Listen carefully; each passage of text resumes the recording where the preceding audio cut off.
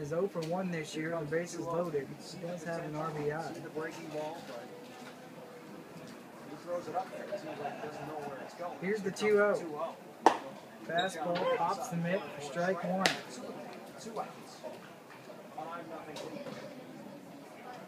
Double. Dogs managed just. Lucas Giolito. A long look in, and now he sets at the belt.